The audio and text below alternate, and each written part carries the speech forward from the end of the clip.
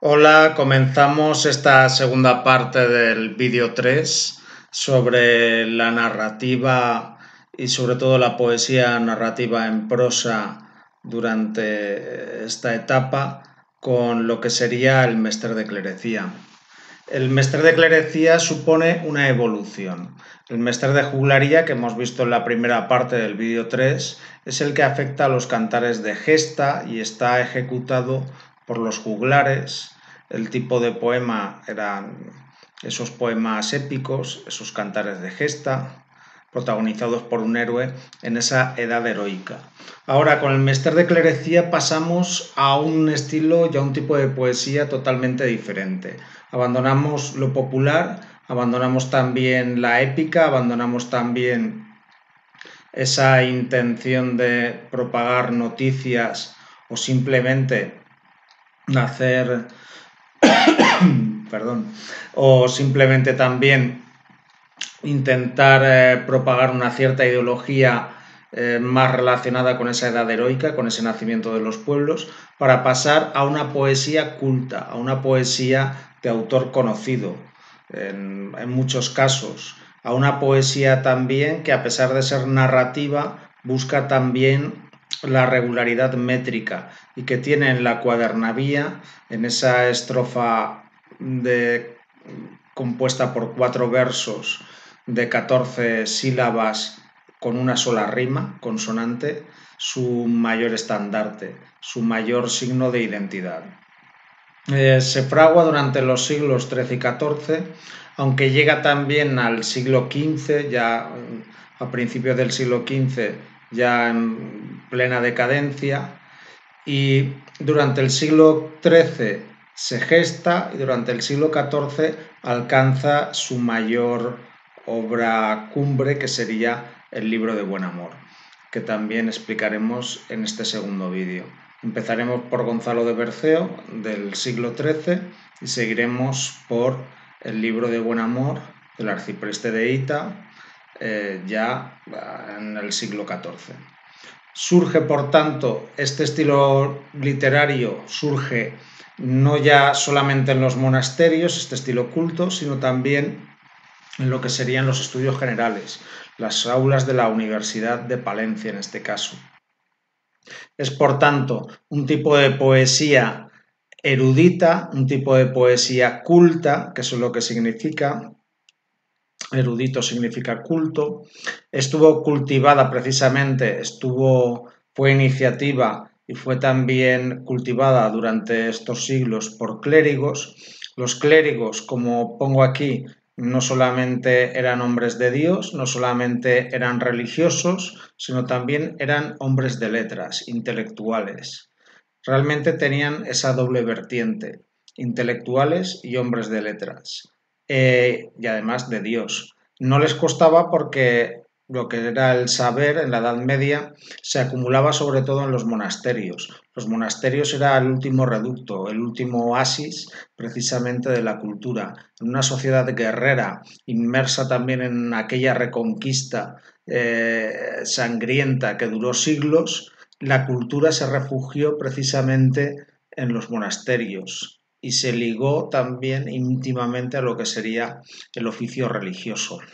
Eh, estos letrados, estos clérigos, estos intelectuales eran hombres cultos que habían recibido también una formación bastante extensa, ya fuera también reglada en la universidad o ya fuera también dentro de las paredes de un monasterio, Dentro de ese mismo monasterio tenían la posibilidad de consultar libros de todo tipo, no solamente libros religiosos o libros relacionados con la latinidad medieval, puesto que en aquella época la cultura se, escribía y se conservaba fundamentalmente en latín, también de la antigüedad clásica, también clásicos de la Grecia y Roma antiguas, que realmente se conservaban en forma de copias dentro de estos monasterios.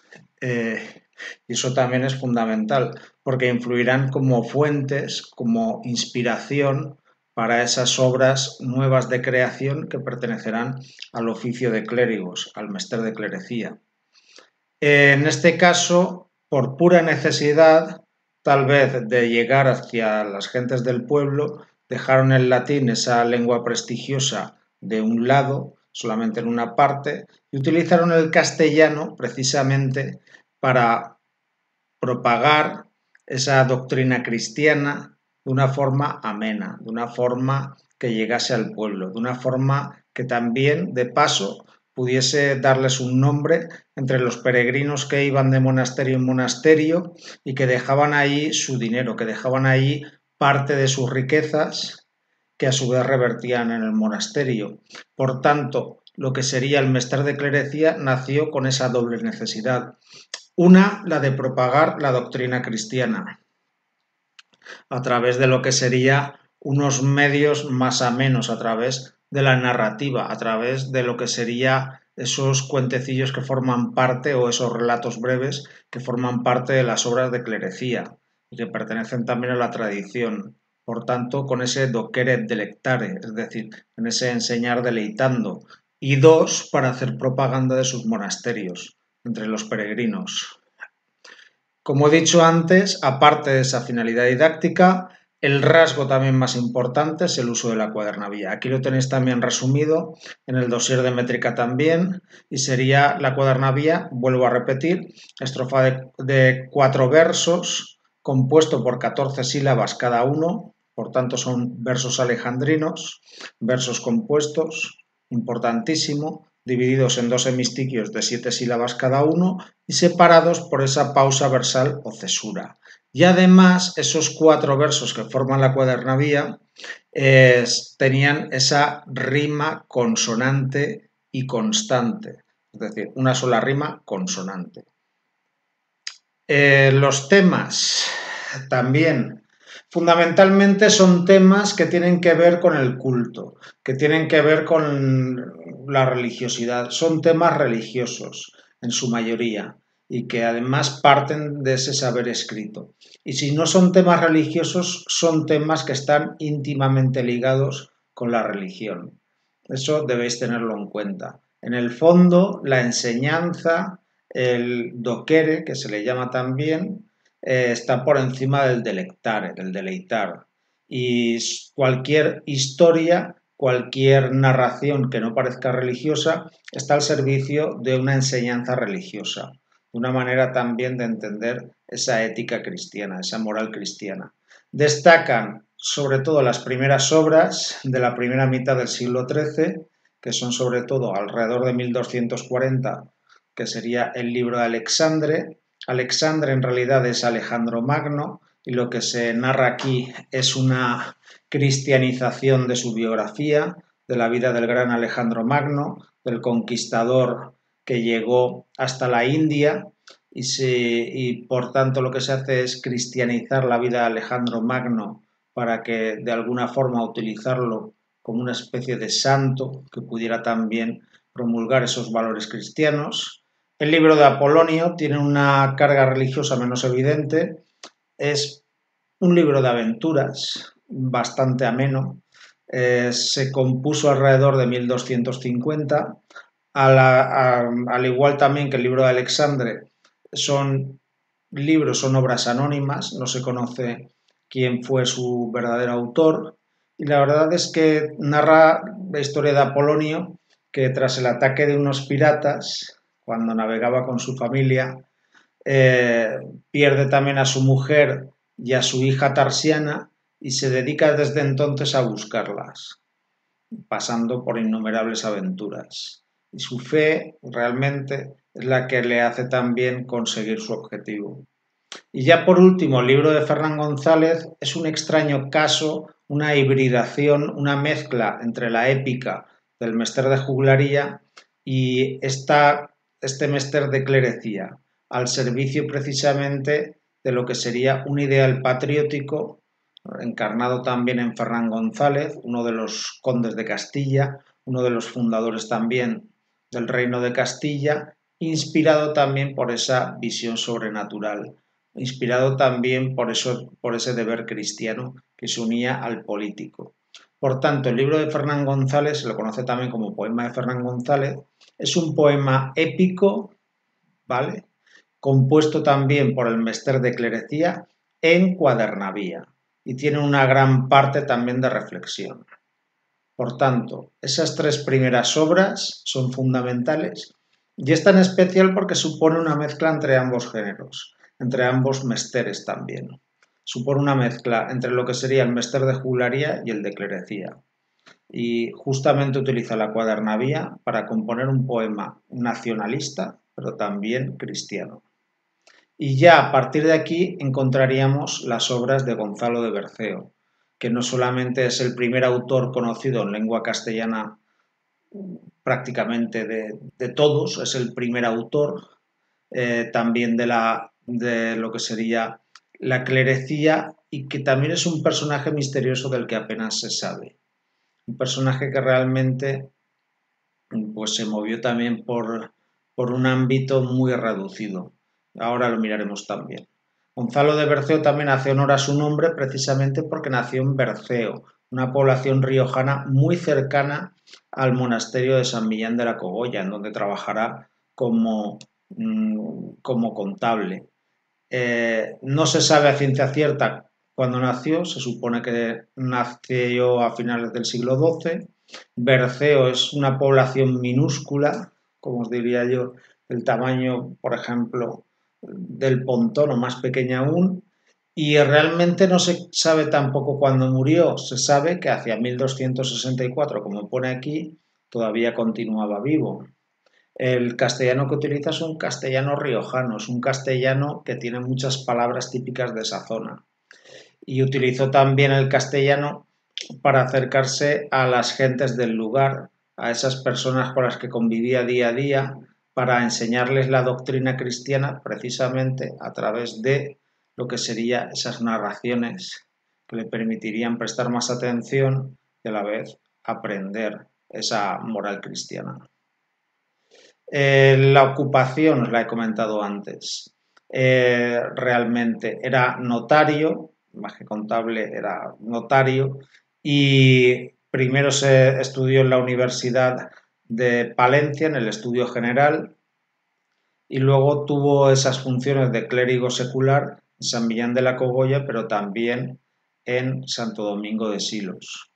A estos dos monasterios pues les rindió homenaje a través de los santos a los que estaban encomendados. Por eso también escribió la vida de San Millán y la vida de Santo Domingo de Silos, e incluso también la vida de Santa Oria, que era una santa que estaba relacionada con este monasterio de San Millán. El de Suso y el de Yuso, porque en realidad en San Millán de la Cogolla aquí se habla de un solo monasterio, pero en realidad son dos. Hay uno más antiguo que está en la montaña, en la montaña y otro más eh, grande, muchísimo más grande, que está en la parte ya del valle. La función no solamente era divulgar la doctrina, sino también hacer propaganda de sus monasterios, atraer peregrinos y lograr que esos peregrinos, cuando se quedaban allí a comer o a dormir, dejasen su dinero y así eh, contribuir a lo que sería la, la economía del monasterio. Entre sus obras, los loores de Nuestra Señora, que sería loor, sería las alabanzas, decir todo lo bueno de Nuestra Señora, que sería la Virgen, duelo que hizo la Virgen el día que murió su Hijo Jesucristo, el martirio de San Lorenzo, que son obras agiográficas y martirológicas. Agiográficas significa de santos y martirológicas que narran cómo murieron o de los signos que aparecen antes del juicio final, que es una obra precisamente mm, sobre el apocalipsis, sobre el fin del mundo, o del sacrificio de la misa, que simplemente es una obra litúrgica que ayuda a dar misa, ayuda. Es una obra sobre todo eh, dirigida a los sacerdotes, a aquellos que tienen que oficiar la misa. Eso serían las obras que son poco importantes. Son más importantes, sobre todo las que os he comentado, de la vida de San Millán, que está encomendada a San Millán de la Cogolla, vida de Santo Domingo de Silos y la vida de Santa Oria. Realmente son las tres más importantes después de la principal que sería Milagros de Nuestra Señora. La obra Milagros de Nuestra Señora fue compuesta alrededor de 1260, realmente, es la más extensa, no es una obra original, es una obra realmente que, tiene también una base latina, realmente sería como una reescritura de unos milagros que ya estaban, que ya estaban eh, presentes, ya estaban escritos en latín, solamente que Gonzalo de Berceo no hace una traducción, sino que hace una recreación. A partir de esa colección de 25 milagros que ya existía, él lo que hace es reescribirlos en castellano y además en un castellano riojano que fuera comprensible para la gente del lugar, que lo pudieran entender. Lo organiza también de la siguiente manera. Lo organiza con una introducción previa, original, que sí que era suya, de puño y letra, en la que aparece esa visión alegórica de sí mismo como poeta peregrino, como un poeta peregrino, como ese tópico que tenéis aquí también marcado en azul del Homo Viator, que llegue también a ese prado ameno, a ese hermoso prado, a ese locus amoenus, a ese lugar idealizado que representa o que simboliza a la Virgen María. Y representa a la Virgen María en todas sus dichosas cualidades. Representa ese, ese prado fresco, ameno, que, le da esa paz espiritual al poeta peregrino que llega cansado, que llega prácticamente derrotado por la vida. De ahí encuentra el consuelo, ahí encuentra en ese prado fresco que representa la Virgen María, encuentra precisamente la salvación. El esquema que se desarrolla en estos 25 milagros, que ya digo, no son originales, el, original se basa en una obra latina, de la latinidad medieval, pues siempre parten del mismo esquema interno. Cada uno de los 25 milagros siempre parten de un pecador que, a pesar de haber cometido ese pecado insalvable y que en un principio mm, del que no puede escapar, al ser también eh, devoto de la Virgen y rezarle a la Virgen todos los días, consigue que la Virgen intervenga, que le ayude que además también medie para que Dios se ponga de su parte y de alguna forma pueda darle una solución a esa situación de pecado. La Virgen aquí se comporta como una heroína, no ya como una mediadora, sino como un señor feudal que interviene para ayudar a su vasallo, que sería precisamente el pecador. Un hombre que sí ha cometido pecados, pero que ahora tiene la posibilidad también de redimirse gracias a su devoción por la Virgen. Por tanto, el mensaje que se manda es que tú, aunque hayas sido pecador, si le rezas a la Virgen y lo haces con sinceridad, conseguirás la salvación. Y por tanto es propaganda mariana, propaganda también de la Virgen María. Es lo que significa.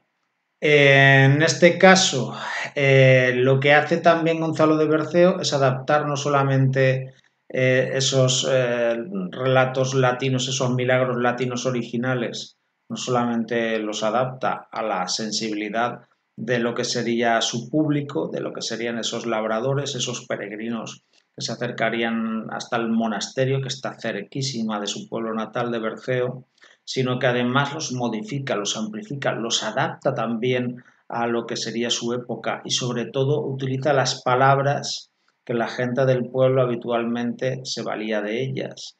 Y lo que hace es hacer referencia a lo que serían sus tareas cotidianas, hace referencia al campo, al vocabulario también eh, habitual de estos campesinos de la región, incorpora refranes, incorpora dichos populares. Es precisamente toda la riqueza léxica y de vocabulario uno de los puntos fuertes de los, eh, de los eh, milagros a Nuestra Señora de Berceo, de Nuestra Señora. Otra parte también fundamental es que nace ya la conciencia de autor, no solamente firma la obra, sino que él realmente aparece precisamente en esa narración y aparece con la clara conciencia de autor, con la clara conciencia de ser un escritor y no de escribir una obra menor. Y se ve a sí mismo, por esa misma razón, como un juglar a lo divino. Entonces, el juglar sería, puede ser la parte con, que tiene mayor carga negativa de pecado, pero al ser a lo divino, de alguna forma anula ese pecado primero. Se ve, por tanto, a sí mismo como un, como un juglar a lo divino. Todo lo contrario que el arcipreste de Ita, que se verá a sí mismo como un clérigo ajuglarado, como un clérigo corrompido precisamente por las letras, por la vida y por su amor a las mujeres. En este caso no. En este caso Gonzalo de Berceo es un juglar, sí, pero a lo divino, es un juglar al servicio de Dios. Y, esa es la parte fundamental e interesante. Esta parte de aquí, Mester traigo fermoso, no es de joglaría, Mester es en pecado, caes de clerecía, la versión que yo conozco es ligeramente diferente. Fablar curso rimado por la cuadernavía, sílabas juntadas, caes, gran maestría, lo que significa para empezar es Mester traigo fermoso, oficio de literario traigo hermoso, porque la literatura persigue también la belleza, y no es de jugularía, que eso es lo que significa. No es precisamente un oficio de juglares, es de clérigos, que tienen mayor calidad al ser un tipo de poesía culta. Y es así, y lo reafirma en el segundo verso de esta cuadernavía, Mesteres en pecado, es decir, no tiene pecado, pero no ya que no tenga pecado al ser una poesía religiosa, no tiene pecado de irregularidad métrica, porque todos los versos miden 14 sílabas y porque realmente las estrofas son eh, de cuatro versos y, son, y solamente tienen una rima que es la rima consonante. Por tanto, el pecado es no seguir el número exacto de sílabas o no seguir el número exacto de versos por estrofa o no conseguir una rima perfecta. Y por tanto, la clerecía, a diferencia de la jugularía, consigue esa rima perfecta. Por eso dice aquí, fablar curso rimado por la cuadernavía. Este tipo de estrofa, la cuadernavía, es el mayor orgullo del mester de clerecía y lo que permite también diferenciarlos claramente del de jugularía. Y fijaos, tal es así que a sílabas contadas, contadas eh, caes, pues es gran maestría, porque ellos consiguen el cómputo, el número exacto de sílabas por verso. Y eso es una gran maestría. Eso es solamente lo consiguen los grandes poetas, los que se consideran maestros de poetas. Pasamos a lo que sería el libro de Buen Amor. El libro de Buen Amor en realidad eh, es una obra compleja, es una obra fascinante. A mí, después de la Celestina, yo creo que es el, la obra medieval que más me gusta, más acabada, con una idea fascinante, abierta, ambigua, con su toque canalla, que yo veo que el libro no comparte, y, que realmente eh, nos permite también eh, encontrar una cantidad de sabiduría sobre la vida que en pocas obras contemporáneas podríamos hallar. Eh, su proceso es largo, se produce, su autor es eh, Juan Ruiz, arcipreste de Ita. Arcipreste significa también que era un cargo eclesiástico que, de la iglesia, era un clérigo que realmente tenía a su cargo ese arciprestazgo, ese territorio relacionado con Ita. Y su obra, su única obra conocida es el libro de Buen Amor que lo compuso entre 1330 y 1343. Se conservan tres manuscritos, que no voy a citar aquí, y que realmente nos demuestran tres etapas diferentes de redacción. Él lo que hizo, tardó estos 13 años, no porque no publicase el libro antes, no porque estuviese redactándolo todo el tiempo, no. Él publicó varias versiones y, fue, y le fue añadiendo partes porque es un libro sobre todo heterogéneo, es un libro que no sigue una línea determinada, sino que va mezclando muchas composiciones diferentes. Puede, mezclar una composición en alabanza de la Virgen, con una fábula de romanos, con un cuentecito también que tenga como protagonista precisamente a, sí mismo, porque realmente no deja de ser una narración autobiográfica, y por tanto es un libro al que va añadiendo elementos externos eh, durante esos 13 años. Elementos que, a veces no le, no le pertenecerán a él, sino que vendrán de la tradición. Es una obra, por tanto, abierta a lo que sería el pueblo. Se le llama libro de buen amor por varias razones. En primer lugar, porque realmente es un libro que indaga, que reflexiona, que muestra todas las maneras de amar aunque en principio en ese prólogo también el arcipreste diga que es un libro que va en contra de ese, de ese loco amor, de ese amor realmente pasional, de ese amor sin cabeza y sin motivo. Es un libro que muestra las distintas formas de amor, las distintas formas de amar, para que luego el lector elija. Se las muestra, se las enseña, le hace reflexionar para que él elija. Porque al ser un clérigo, en primer lugar, podríamos pensar que el único amor que existe para él es el amor a Dios, pero no es así. Existen distintas formas de amar, desde el amor a Dios, que puede ser uno de los más perfectos y acabados para un clérigo, pasando por el amor carnal, el amor puramente sexual, sin otro motivo, que en realidad está bastante presente en esta obra, el amor también dentro del matrimonio, que podría ser factible, el amor, curiosamente también como amistad, es algo que también se cultiva en este libro y apenas se dice, y otras variedades también que podemos encontrar también de amor.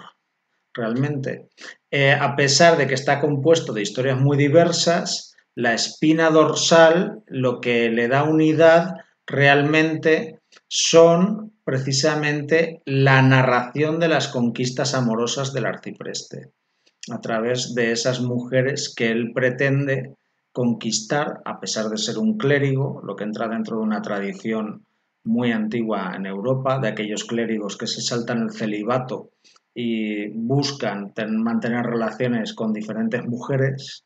Incluso una de ellas es una monja y no tiene ningún reparo en cortejarla, en intentar seducirla, porque al fin y al cabo es una mujer que se ha puesto, se ha puesto en su camino y él también quiere mantener esas relaciones.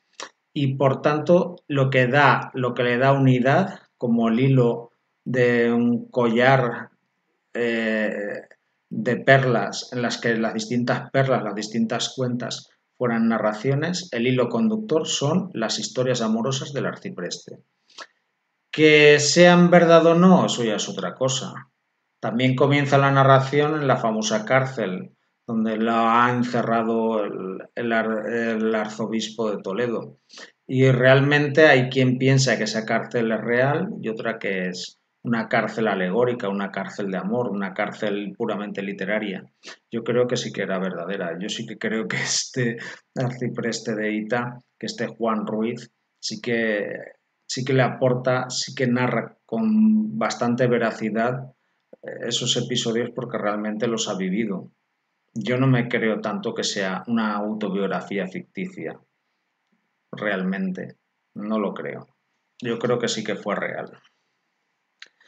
En cuanto a lo que sería eh, la parte más interesante al margen de la interpretación, que no solamente que abandona el anonimato, eso debéis tenerlo en cuenta.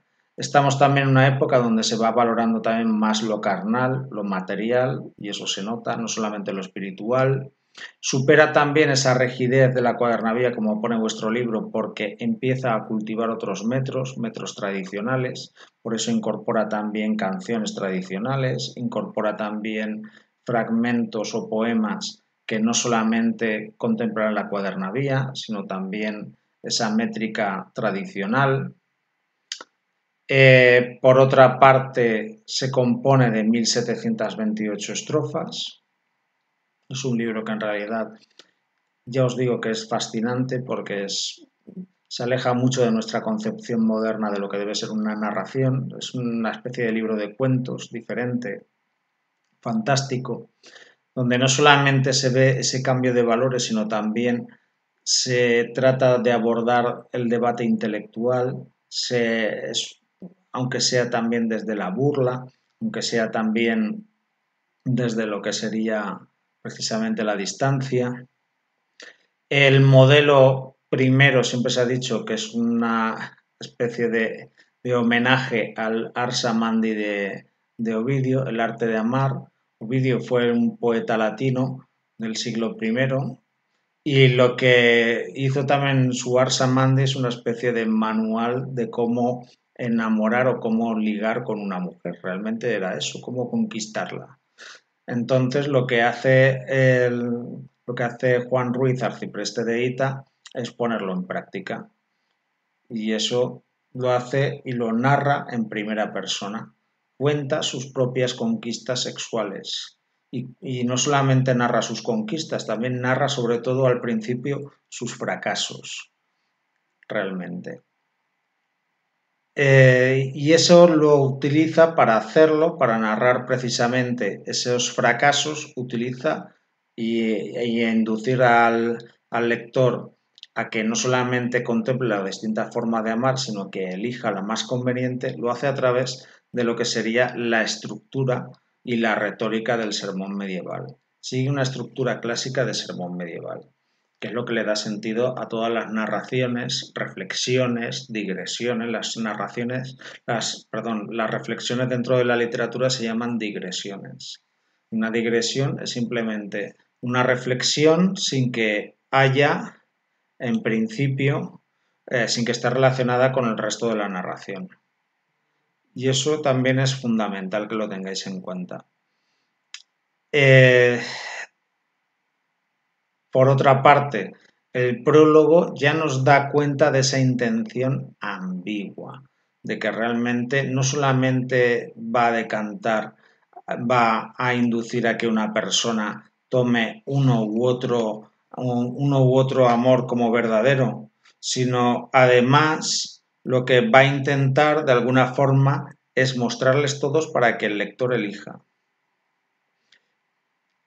Por otra parte, eh, va dirigido también, aunque va dirigido a esos, en principio, a un público genérico, también es cierto que la abundancia de citas, muchas de ellas manipuladas como la de Aristóteles, y muchas de ellas también que no se corresponden con la realidad, nos da a pensar que realmente exige en verdad un lector o por lo menos una persona culta que sepa también interpretar todas esas citas. No, está, por tanto, destinado a un, a un público eh, del pueblo, a un público popular. Está destinado también posiblemente más a otros clérigos, más a una persona que tenga cierta cultura que a otra que a una persona que sea iletrada.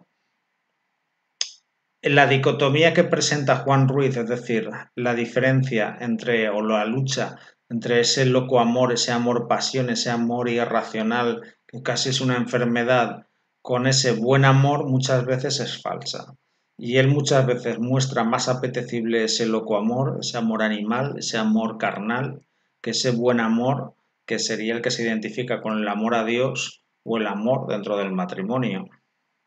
Y es, yo creo que también estoy de acuerdo con vuestro libro que es un reflejo de, esa, de, ese, de ese paso, de ese cambio de mentalidad medieval, donde realmente no, es, no se puede elegir entre uno u otro.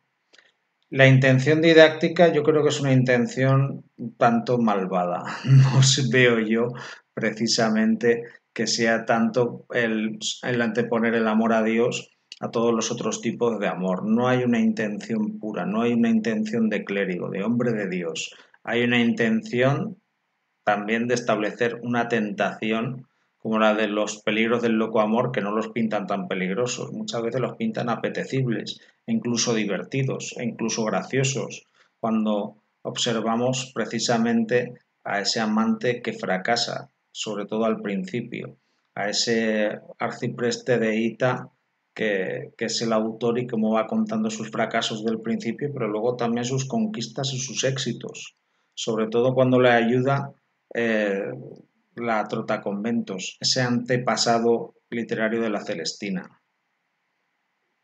El argumento, yo os aquí he destacado algunas cosas. Aparte del prólogo en prosa y de sus primeros fracasos amorosos, que además también culminan cuando intenta conquistar a, la famosa monja, eh, doña Garoza, pues realmente, aparte de eso, también lo va mezclando con lo que sería precisamente esa parodia del Pamphilus de Amore, que era también una de sus fuentes, una de las comedias latinas, en donde realmente, por un lado, establece ese diálogo con la personificación de Don Amor, el amor que conocemos, ese amor eh, en forma también de Cupido. Aquí toma también forma, se personifica y se le acusa también de ser el causante de casi todos los males, de casi todos los pecados. Y, a su vez también ser eh, terriblemente necesario. Aquí se establece, por tanto, en esta parte de aquí, en esta primera parte que marca la diferencia, el punto de inflexión con sus fracasos, don Amor es, eh, dialoga con el arcipreste y recibe muchos de los reproches que le puede hacer también el arcipreste, precisamente por no haber conseguido el éxito en el amor. Eh, don Amor realmente para un poco compensarlo, eh, le aconseja precisamente que se sirva de esa alcahueta, de la trota conventos. La trota conventos es el antecedente literario de la Celestina, como pone aquí. Es una medianera, es una es un, realmente eh, una anciana que le ayuda a, poder también eh, acercarse a esas mujeres que él pretende y conseguirlas, gracias también a su dominio de la palabra y a su ingenio y malas artes. Y de alguna forma llega a convertirse incluso en su amiga, en amiga también del arcipreste. Con su ayuda, y aquí bajo la apariencia de don Melón, intenta conquistar a, doña Andrina. Doña Andrina no deja de ser también una, una joven viuda que se siente sola y con la que y, de la que el arcipreste se ha enamorado y con la que curiosamente termina casándose. Más tarde, y esta parte es totalmente satírica, cuando va camino de Toledo, cruza la sierra de Guadarrama y entonces es atacado también por cuatro serranas salvajes. Las serranas eran pastoras, vaqueras, que vivían también en el monte sin nombre alguno estaban desesperadas, solamente se dedicaban a pastorear vacas y al ver al arcipreste, el único hombre que habrían visto en semanas o meses, realmente le hacen pagar el peaje al cruzar también aquellas montañas luchando con él, abusando de él en, uno de los pajares que tenían. Y aparecen prácticamente caracterizadas más que como mujeres, como monstruos, como osos, como seres prácticamente horripilantes a los cuales, sobre todo, el arcipreste no puede escapar, no porque no quiera, sino porque no puede, porque son más fuertes que él.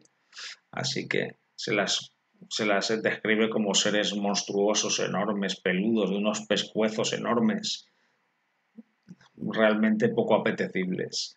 También intercala una parodia, una burla de lo que serían los poemas épicos con la batalla de Don Carnal y Doña Cuaresma.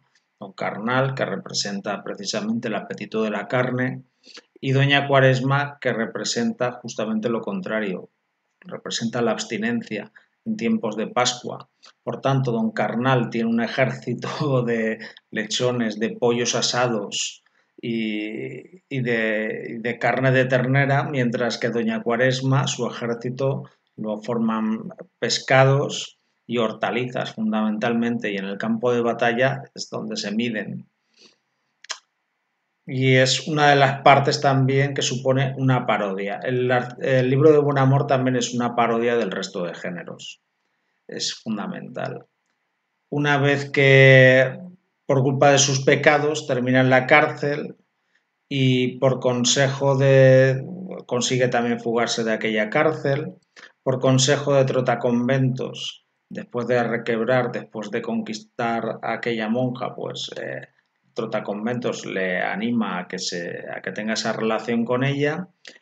Y para olvidar sus penas por la muerte precisamente de la Trotaconventos, donde en esa especie de lamento funerario realmente la reconoce como una verdadera amiga y por tanto en estas cuitas, en estas penas por la muerte de Trotaconventos, simplemente por edad, porque era una mujer mayor, ahí se ve también el tipo de amor como amistad, pretende también a una, a una mujer árabe de aquella época. Por tanto, fijaos también qué cantidad de mujeres diferentes va pretendiendo y cómo se establece esa espina dorsal.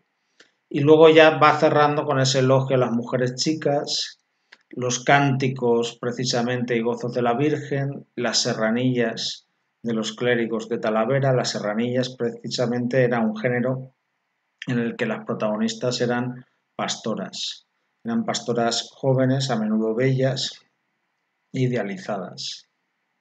Aquí aparece también el tema de la cárcel, que se toma como sentido real o como sentido metafórico. Y aquí os recuerdo también precisamente como el, arcipreste de Ita, Juan Ruiz, se considera a sí mismo como un clérigo ajugularado, como un clérigo que ha sido corrompido precisamente por ese amor a las mujeres y que se ha apartado de Dios. Se muestra, muestra esa imagen suya canalla que contrasta con el jugular a lo divino de Gonzalo de Berceo. Aquí tenéis algunas estrofas, he mandado esta de aquí, que podéis también leer, que está realmente adaptada que se centra sobre todo en la figura de Trotaconventos. Y acabaremos simplemente con el romancero. El romancero ya sabéis que se produce por fragmentación de los cantares de gesta, realmente incluso tiene, utiliza el octosílabo porque es una fragmentación, porque equivale también a un hemistiquio de lo que sería un verso épico. Ya sabéis también que fue fruto de que los juglares eh, recibían la petición de que repitiese una y otra vez más, no, no, el, no el total de un cantar de gestas, sino las historias más interesantes, más trepidantes, más emocionantes y eso les obligó precisamente no a repetir todo un cantar de gesta completo, sino simplemente el fragmento exacto donde estaba ese, ese momento más emocionante. Y ese proceso ya de fragmentación de los cantares de gesta, de ruptura y de constitución en poemas exentos, en poemas también independientes, ya ocurrió a finales del siglo XIV y en el siglo XV se consumó. No solamente se consumó, sino que inauguró un género, un subgénero nuevo que era el del romance. Romance ya sea narrativo, como es este caso, o lírico. Eh, es importante también señalar que se llegaron a conocer porque se fueron incorporando a los cancioneros y a los romanceros que se iban publicando en esa época, a lo largo del siglo XV. ¿Cuáles son las principales características que yo creo que son fundamentales para analizar cualquier romance? Y vosotros tenéis uno. Está el de Abenamar y este también el del Conde Niño, que no deja de ser una versión del, del Conde Olinos. Tendríamos para empezar una estructura métrica regular. A pesar de que pertenecen a la lírica popular, esas, esas tiradas de un número indefinido de versos octosílabos, siempre van a ser versos octosílabos. Siempre van a ser versos que van a buscar precisamente que tenga ocho sílabas y no más. En todo caso, pueden tener una estructura de verso compuesto similar al que sería el verso épico. Pueden tener 16, divididos en dos hemistiquios, pero siempre van a buscar la regularidad que no tenían los cantares de gesta. Eso sí, la rima, como pone aquí, será asonante y solamente en los pares. Los quedan sueltos, por tanto, los impares o sin rima. Solamente riman los pares en asonante, impares sueltos. Fragmentarismo narrativo, como son fruto precisamente de mm, algunos de ellos de un poema más amplio, solamente se concentra en lo que sería el nudo.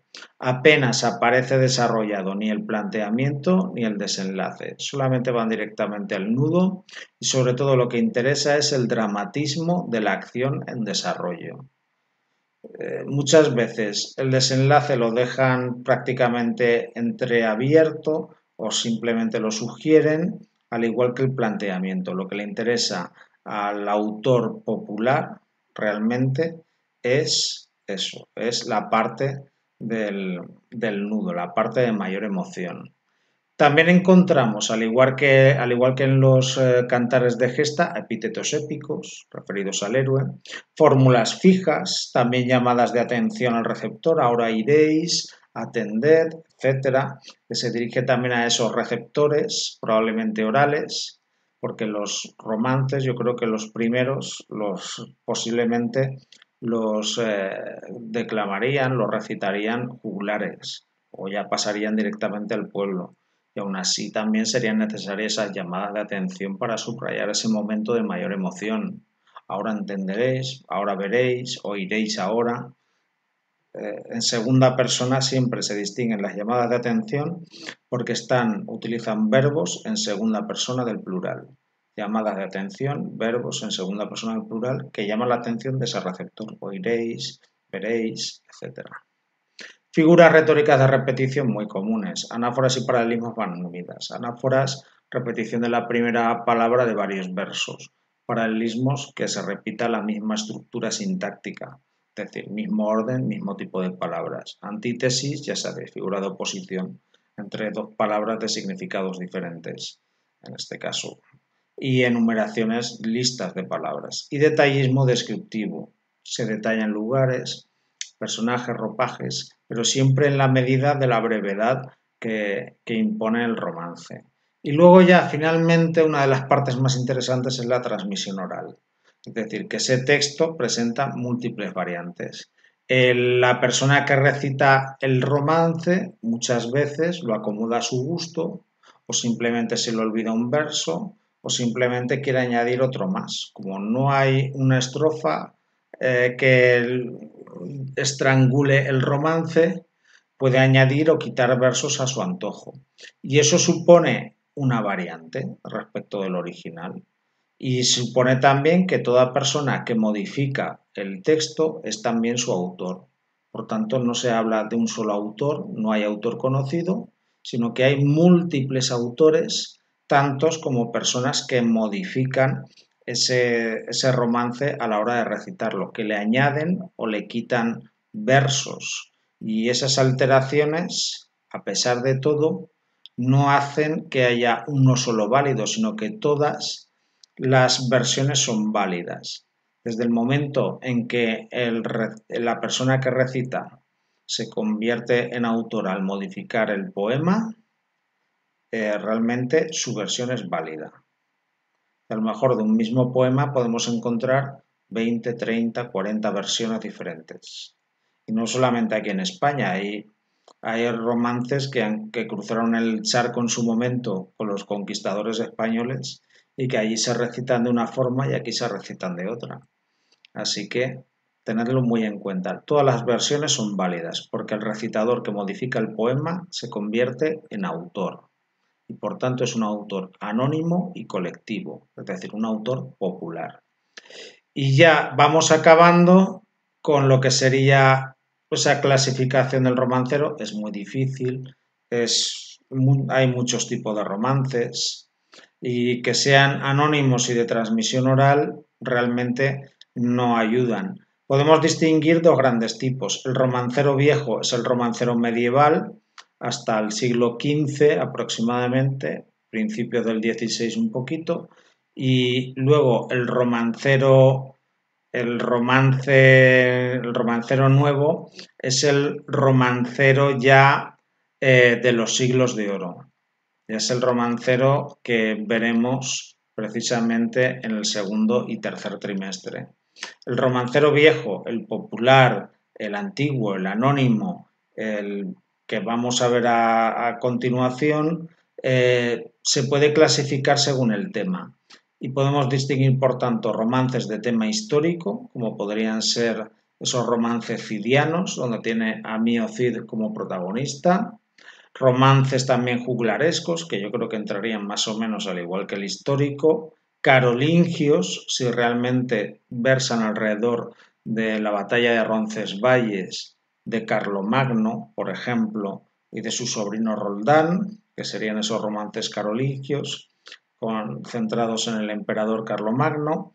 Bretones, si hace referencia sobre todo a la materia de Bretaña, a las historias del rey Arturo, y sí, queridos alumnos, hay romances que giran alrededor de la historia del rey Arturo, novelescos si son totalmente ficticios, líricos si no tienen precisamente ninguna, ninguna trama narrativa ni ningún narrador, y los hay y bastante bonitos, bastante bellos.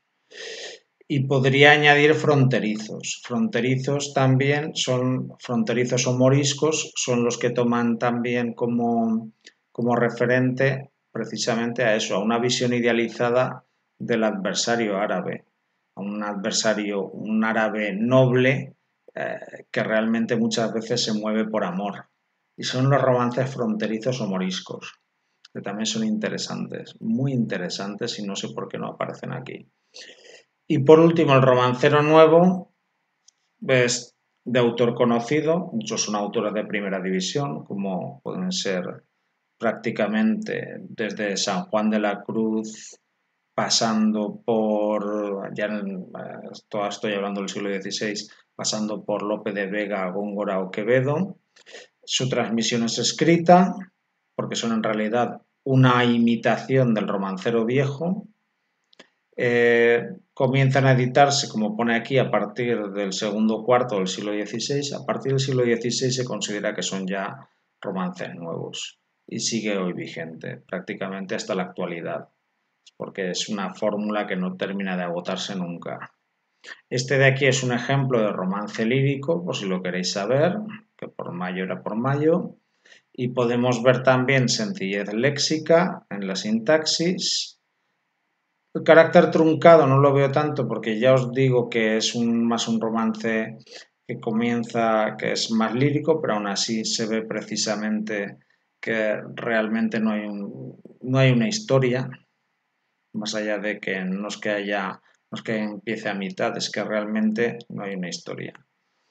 Eh, abundan lo que, sean, lo que son las figuras de repetición, como la anáfora, paralelismos, que también los observamos aquí, eh, cuando hace la calor, cuando los trigos se encañan, aquí realmente lo que pasa es que intercambiaría casi como un quiasmo, las antítesis, Calandria ruiseñor día-noches, que también aparecen aquí. La calandria es un tipo de ave de, pájaro cantor, al igual que el ruiseñor, y por tanto se establece ese paralelismo y esa oposición, esa antítesis entre estos dos pájaros y entre el día y la noche, y la enumeración, que es una lista de, de acciones. Presencia del diálogo, referencias simbólicas como las aves, que son mensajeras, que simbolizan también el amor, el mes de mayo, y la prisión, que es una prisión de amor. El marco temporal, que sería en mayo, que es también marca incluso un género, un subgénero dentro de lo que sería el género lírico, que sería el de las mayas o los mayos, que algunos conoceréis también por la asociación musical de aquí, de cantares viejos. Y, y luego simplemente debéis tener en cuenta cómo lo analiza, cómo lo clasifica, el tipo de estrofa, el tema y luego la clasificación como romance viejo, eso me interesa mucho, anónimo y oral, medieval, novelesco, yo lo veo más lírico que novelesco, y sí, el tema es la soledad, porque es el romance del prisionero, muy conocido. Y aquí tenéis una última parte de este romance. Gracias y nos veremos en el próximo vídeo.